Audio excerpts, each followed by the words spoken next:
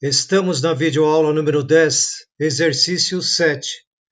Criação de desenho 2D a partir do modelo OnShape. Esta peça foi modelada na aula número 9, na aula anterior. Vamos fazer esse desenho simples, como gerar esse desenho em 2D. Podemos fazer um desenho selecionando esse maisinho, Create Drawing. Podemos criar por aqui, por aqui você pode criar um modelo, um assembly, criar um estúdio variável, create drawing, create folder, importar. E você tem outras aplicações que veremos no futuro. Create Feature Studio. No futuro vamos aprendendo esses recursos. Eu não vou criar por aqui. Selecione aqui.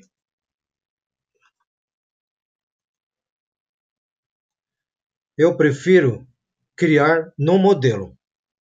Vamos abrir aqui. Mais fácil. Aqui estou com o modelo, feito na videoaula anterior, na videoaula 9. Aqui eu acho bem mais simples. Você já tem o modelo, é muito simples. Vamos aqui, botão direito, Vamos aqui em Create Drawing of Part. Criar um desenho a partir do modelo. Selecione aqui. Aqui você tem a norma ANSI, os templates, ISO, Show um Shape Drawing. Aqui você ativa os formatos. Aqui você, se você selecionar aqui, você vai criar as vistas automaticamente eu vou selecionar um formato A4 e vou dar OK aqui. Não vou selecionar aqui. Vou dar OK. Ele vai gerar o formato A4 e já vem com a vista. E você pode mudar aqui a orientação aqui da sua vista. E também a escala. Eu vou deixar assim mesmo. Front,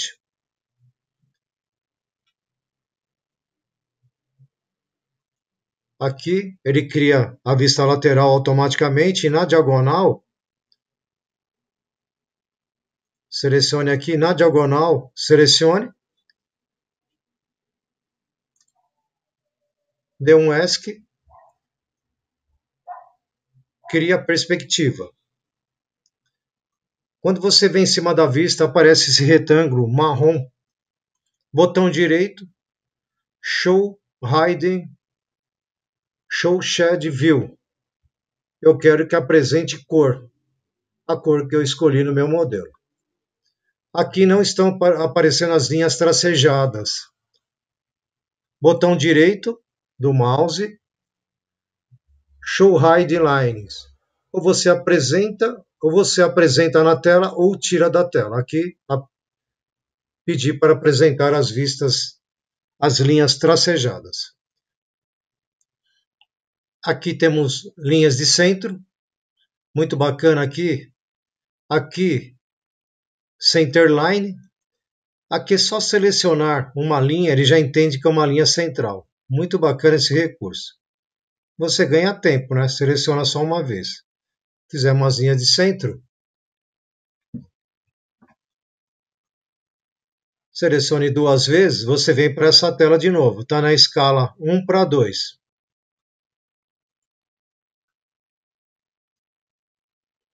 E aqui a folha você edita automaticamente aqui. É só selecionar aqui, aí você edita criando o texto. É só fechar aqui, você pode mudar a cor do seu texto, aumentar o tamanho.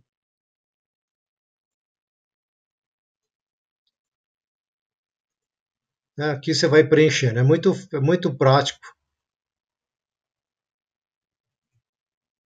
Foi demais? Muito bacana. Aqui você preenche manual aqui. Aqui ele já vem default. Bacana, ele já acrescenta escala. Folha 1 de 1.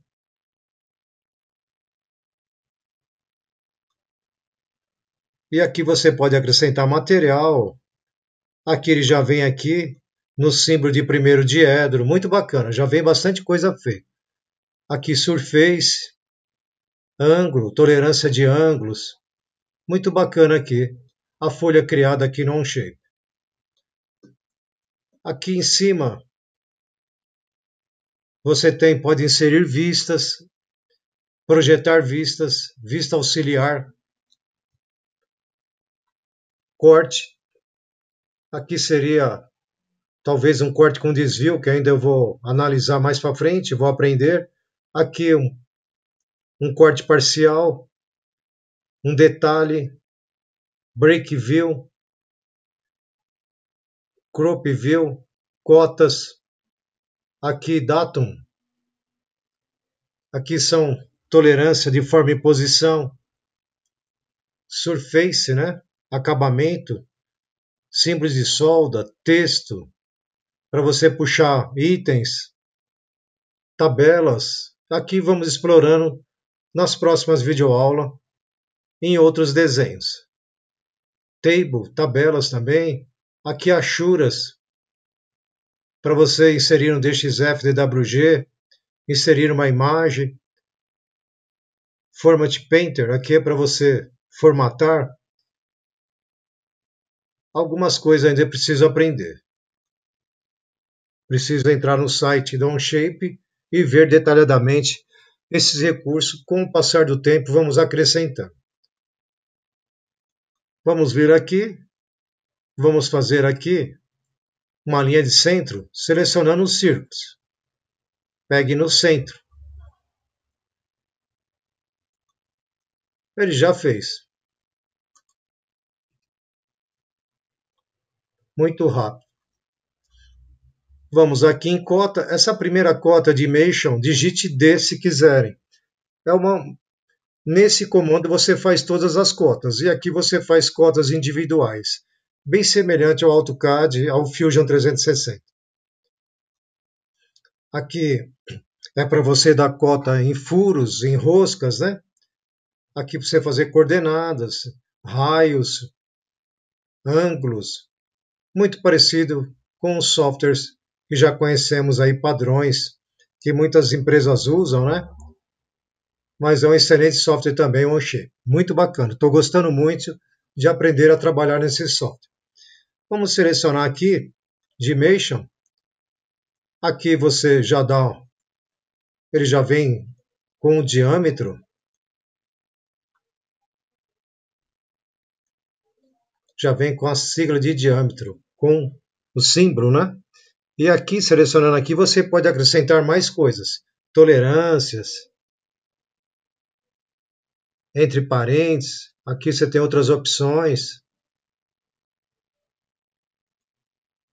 Simétrico, limite, básico. Aqui, em outras aulas, faremos essas aplicações. Hoje aqui é mais uma aula básica. Então, ESC, digite D, ativa de mexo.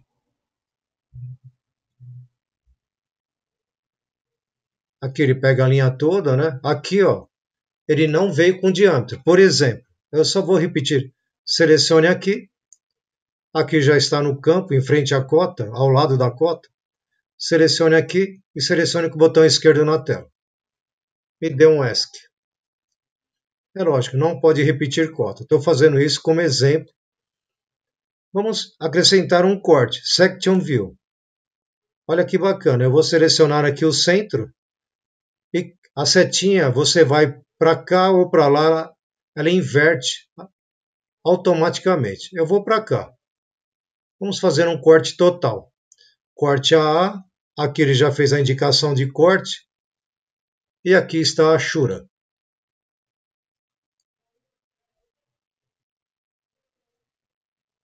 Vamos aqui em linha de centro, centerline, selecione só uma, ele já faz a linha de centro. Já aprendemos a fazer projeções de vistas, algumas cotas e também um corte total que é muito simples de fazer.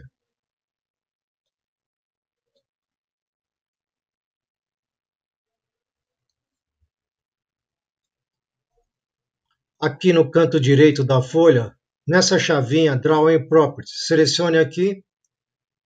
Aqui você tem opções de fazer algumas configurações. Por exemplo, aqui em View, você pode mudar o padrão aqui da espessura da linha e da cor. Por exemplo, vamos falar que eu quero vermelho e vou dar OK. Mudamos o padrão das linhas tracejadas. Muito bacana esses recursos. E aqui você muda a espessura de linha, estilos, style.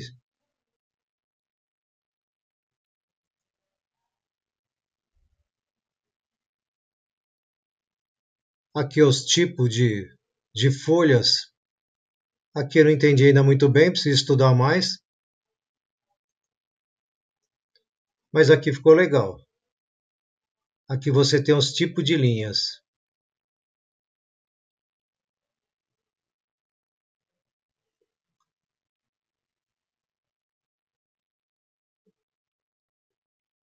As espessuras.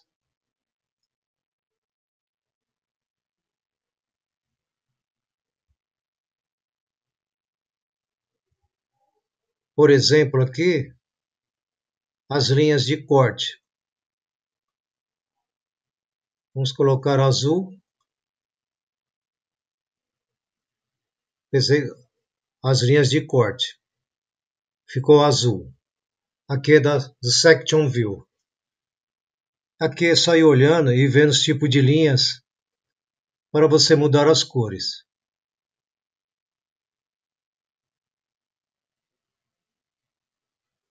Aqui as linhas visíveis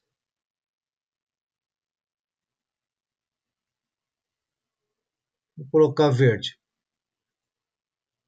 Mudamos as linhas verdes, as linhas visíveis. Aqui já alteramos também as camadas, as cores das camadas. Agora é só procurar as cotas também e mudar as cores das cotas.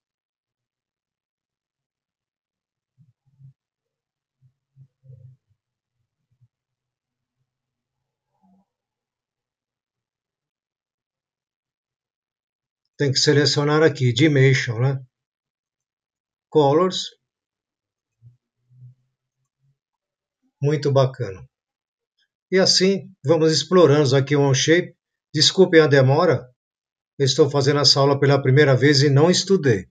Estou indo aqui na intuição do conhecimento que eu tenho de outros softwares.